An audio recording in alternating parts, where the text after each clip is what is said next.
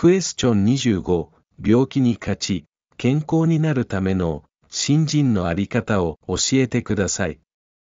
アンサー、近年の医学の発達、医療技術の進歩、医薬品の開発には目覚ましいものがあり、以前には治せなかった病気が随分治せるようになっています。それでも、現実には、なかなか治らない病気で悩んでいる人が数多くいるのです。正しい信仰をすれば、病気が治ると言うと、それなら、医者や薬はいらないじゃないかと批判する人がよくいます。創価学会は、医学を否定したり、軽視はしていません。病気で苦しむ人々を救うための医学や医師を最大に尊重しています。また、信仰をすることと医学とは相反するものでも矛盾するものでもないのです。医学と信仰との関係について、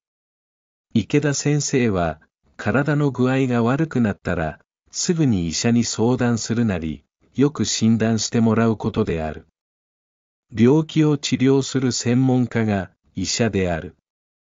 新人は腹運をつけ、病気と戦う根本の生命力を引き出すのである、と話しています。病気の治療が医師によって医学の力でなされるのは当然です。それに対して病気を治すための根本である病人自身の生命力を引き出し強くするのが正しい信仰の役割なのです。戸田先生、治るに決まっているから信心させている。質問会でなかなか治らない病気で悩んでいます。信心で本当に治るのでしょうかと聞かれた戸田先生は、医者で治らないものだから信心しなさいと教えているのです。治るか治らないかということを聞くのが間違っているのです。治るに決まっているから信心させているのです、と答えています。さらに、先生は、信仰以外にはありません。また、医者にかかりなさい。信心していると、不思議で、やぶ医者にかかっても、名医に治療してもらったのと同じ結果になるのです。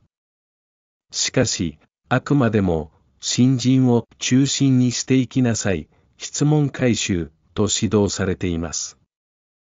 病気は治るに決まっているから、信心させているのですという、戸田先生の大確信に触れて、多くの人が発信して祈り、病気に打ち勝ったのです。戸田先生は、また、医者にかかって治るもの、病気は医者にかかりなさい。早く治る。医者が見放したら、こっちのものだ。もう新人しかない、と決めた時から、病気は治り始めるのだよ、とも指導されています。病気にかかったら、医者にかかるのは当然であり、医者が治せない、治しにくい時には、もう新人しかないと、強く決意して祈った時から、病気は急速に治り始めるのです。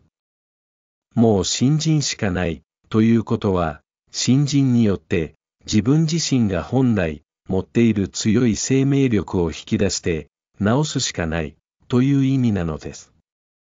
その時には病気は絶対に治ると信じて祈ることが大事なのです。いかなる病も触りをなさないと信じて祈れ。日蓮大上人はこの曼荼羅ご本尊をよくよく信じていきなさい。南明法蓮華経は、獅子が吠えるようなものです。どのような病気、いかなる病でも、触りになることはないでしょう。治らないわけはないでしょう。新、1633、全、1124ページと仰せになっています。ご本尊を深く信じて、真剣に題目を唱え、祈っていった時には、強い生命力が有限し、どんな病気も克服できて、健康になることができる、と教えられているのです。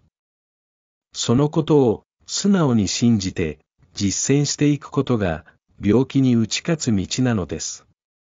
難病にかかり、苦しくて悩んでいた婦人が、信心していてもよくはならない、と思っていたので、御所には、いかなる病、触りをなすべきやと、あるのですから、この病気も絶対に治る、と信じて祈ることです。治らないわけはありませんよと、励ましたところ、発信したその婦人は、その後、急速に良くなり始め、一年ほどで、完全に治ったそうです。痛風で、10年間も悩み、医者から、あなたの体質から来ているのだから、治らない、と言われ、諦めていた少年に、御所には、いかなる病とあって、痛風は除く、とは書いてありませんよ、と言ったところ、絶対に信心で治すぞ、と、発信して、強く祈り、短期間で治った、という体験もあります。原因が不明で、治療法もない難病は宿業の現れ、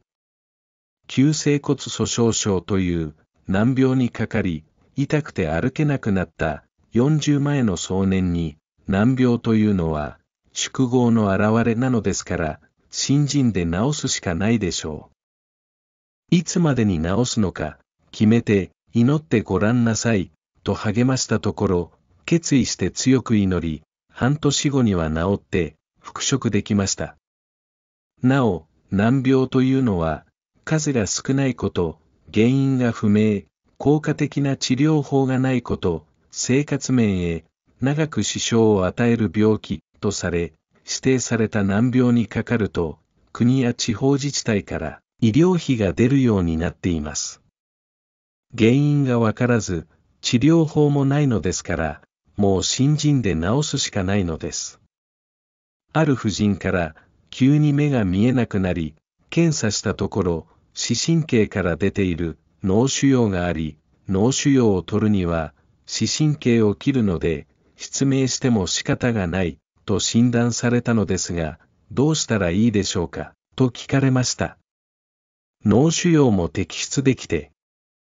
視力も残るように、強く祈るしかないでしょうと、答えたところ、視神経から腫瘍を分離し、すごく小さくしてください。腫瘍も良性で、一度の手術で全部摘出できて、両目がはっきり見えるようにしてくださいと祈りに祈ったそうです。その結果、県下で一番大きく設備の整った病院を紹介され、再度検査したところ、脳腫瘍と視神経が離れており、祈った通りに手術は成功したそうです。新人によって見事に宿命を転換したのです。治らないと決めていれば、どんなに祈っても治らないのは当然です。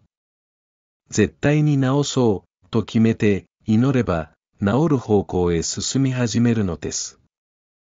その意味で病気は治るか治らないかではなく治すか治さないかだと言えます。また医者や薬はただ頼るのではなく、最大にその力を発揮し、病気を根本から治すための手助け、書店全人の働きをしてもらうのです。自分の全細胞の薬王菩薩の働きを発動させよ。池田先生は、ご本尊への正代、祈りによって、ご本尊に備わった薬王菩薩の生命が働く。